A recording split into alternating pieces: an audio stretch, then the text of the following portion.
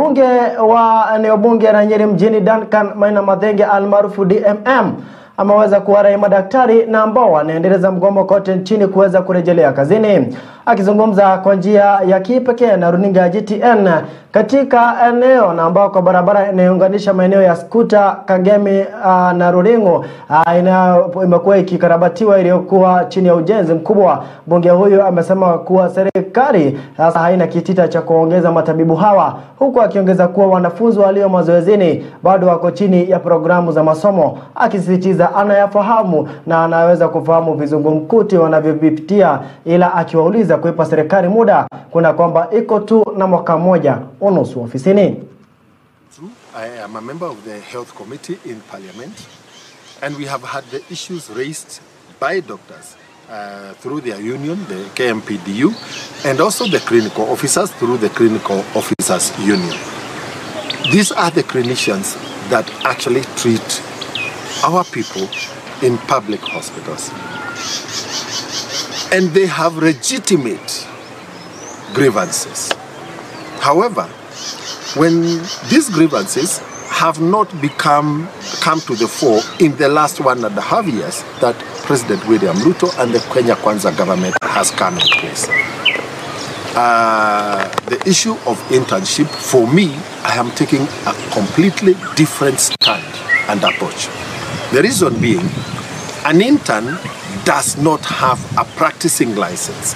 You can never practice medicine either as a clinical officer or as a medical officer or as a nurse without the practicing license and registration.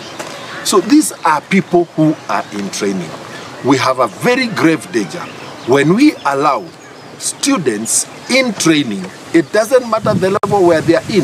The truth is, an intern without supervision cannot run a hospital despite their medical qualification because they've not handled the necessary number of, of caseloads to be able to independently operate on their own. So internship is part and parcel of the training program. When you look at uh, nurses who are trained at diploma level, they do three years at KMTC to finish the nursing diploma program. But while they're still in KMTC, they go for their internship for six months. And therefore, by the end of that internship, they now graduate, having covered both the, uh, the formal training for diploma and internship. There is no way that the nurses union can go on strike on the basis of the students who are still doing internship. I believe that model should apply for all medical cadres that are undergoing training.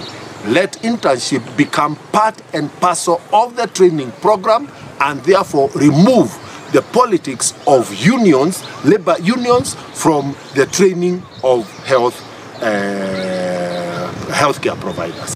Naam, pia mie na